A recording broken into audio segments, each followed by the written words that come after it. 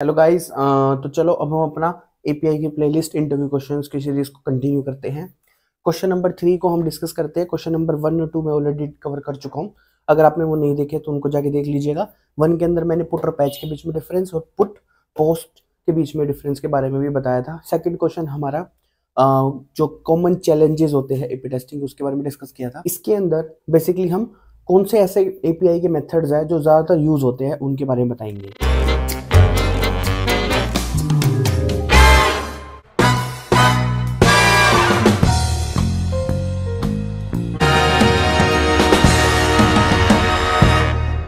आप कोई भी चाहे टेस्टिंग करते हो, चाहे वो डाटाबेस की करते हो, चाहे वो यूआई वाली करते हो तो हम जनरली क्रूड ऑपरेशन फॉलो करते हैं। क्रिएट रीड अपडेट और डिलीट क्रिएट के लिए हमारे पास पोस्ट एपीआई होती है। रीड के लिए गेट एपीआई होती है। अपडेट के लिए हमारे पास दो गिवन है। पुटर पैच इनके बीच में डिफरेंस आप जाके देख लीजिएगा, पहली वीडियो वही है इंटरव्यू क्वेश्चन की, उसको जाके देख लीजिएगा। सेकंड और आखिरी है डिलीट तो कॉमन मेथड्स होते हैं एपीआई टेस्टिंग के अंदर। अगर आपको मेरी वीडियो अच्छी लग रही है तो मेरे चैनल को सब्सक्राइब कर सकते हैं, लाइक कर सकते हैं, शेयर कर सकते हैं अपने फ्रेंड सर्कल के साथ। ऐसे ही मैं कंटेंट लाता रहता हूँ अपने टेस्टिंग से related videos manual plus automation के एसोसिएटेड मेरी कंप्लीट एपीआई की हो गई है।